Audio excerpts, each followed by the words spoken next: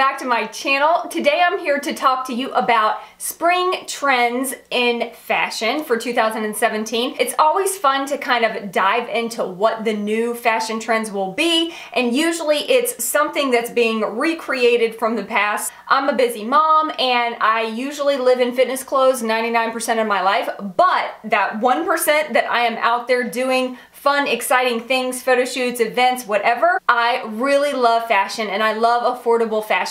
I am constantly looking to see what's new, what's gonna be popular for the next season, what type of fabrics and colors and all of that are gonna be on trend. I like to kind of use it as a basis for what I'm going to add to my collection throughout the seasons. If you do enjoy fashion type of videos, definitely give this video a thumbs up. Make sure to subscribe to my channel before we even get started. I don't want you to miss any of the fun. We're just gonna jump right into this video and I'm gonna give you my thoughts and opinions on this year's fashion trends. Even if it's not mentioned in this video, I want to hear from you what your favorite spring fashion 2017 trend is. Let's jump right into the video. So for this video, I did not go out and buy a bunch of new clothes. I actually just looked in my closet to see what I have that actually goes along with the spring fashion trends. Trends come and go and usually they replicate one another at some point in time. I already had pieces that kind of go in line with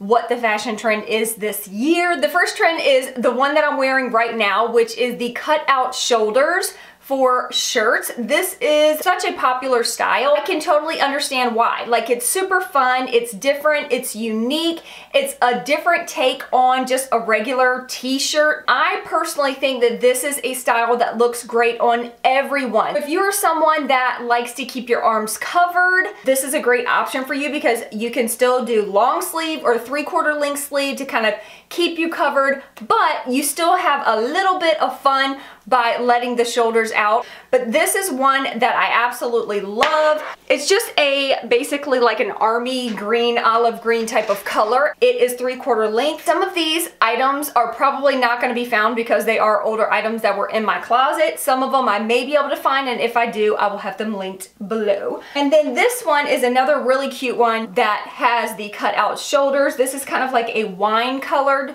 top and this one is long sleeve again spring's coming so there's going to be plenty of short sleeve options but this one is from Hollister. Everyone can benefit from this type of style. It's fun it's flirty and you don't have to worry about wearing a strapless bra. You can wear a regular bra with this type of shirt and you're not going to be hanging out. You can keep the girls up and still have a little fun and flair with your clothes. The next trend for spring of 2017 is the off the shoulder look. That one shoulder hanging out sort of like casual chic type of style. This shirt is one that I have. This is by Bella. It's a dressier shirt, but it totally goes off the shoulder. So you could have it off of both shoulders or you could have it hanging off of one shoulder. The style that I'm talking about is basically hanging off of one shoulder. I'm all about comfort and this type of style is totally like comfort friendly. Oversized t-shirts and sweatshirts and dressier shirts like this. Like there's so many different ways to wear this particular trend. With this, you could wear a strapless bra, you could wear a bralette, you could wear a lace like halter bra. There's so many different ways to style this type of look. I just love it. You could just pop on a tank top underneath it, which is what I do a lot of times. If you watched New York Fashion Week, it was all over the runways, that off-the-shoulder look with casual to really dressy styles. This is just really, really in. The next trend is floral prints. You guys, oh my gosh, I think it's so girly and dainty, but there for a while, it really kind of went out of style and it started to seem like everything that was floral was kind of like grandma-ish and no nothing against grandmas they just like to wear a lot of floral i am so excited that floral is really in this season this is a top that i have by almost famous it's got a little tie around the neck so you've got like it becomes like a little necklace type of tie. You can tie it in a bow or a little knot or just kind of have it hanging. I love that little accent on it. The floral print that I'm seeing in trend right now is the smaller floral print. I just think it's really soft and dainty and girly. It just like screams spring look to me. Another popular trend and one that I really, really love. I am so into it right now. Lace dresses. I think they're so cute. I think they're so pretty. It reminds me of like breakfast at Tiffany's. It's so on trend right now. For this trend, I really wanted to share with you these two dresses that were sent to me by Ouges, I believe is the name Ouges storefront. It's O-U-G-E-S. This store has such cute items and they're all very affordable. And these two dresses are two that really stuck out to me. First dress is like a red and navy blue color. It's so classy looking. It's really great high quality fabric. I think this dress is just a very timeless style. It's got a half sleeve and of course it is all lace.